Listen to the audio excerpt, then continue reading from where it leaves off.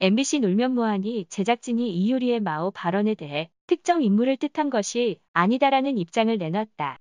제작진은 24일 오후 공식 인스타그램을 통해 지난 8월 22일 방송 중 출연자인 이효리 씨가 활동명을 정하는 과정에서 언급한 마오와 관련해 일부 해외 시청자분들이 불편함을 느꼈다는 내용을 접하게 됐다며 이같이 밝혔다.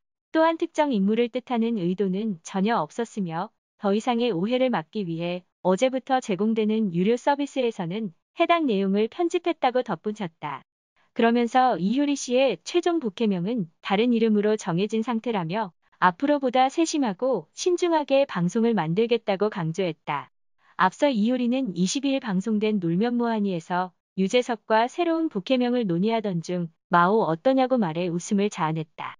하지만 이를 접한 중국 시청자들이 전국과 주석 마오쩌둥의 성마오를 웃음 소재로 사용하고 비하했다는 의혹을 제기해 논란이 불거졌다.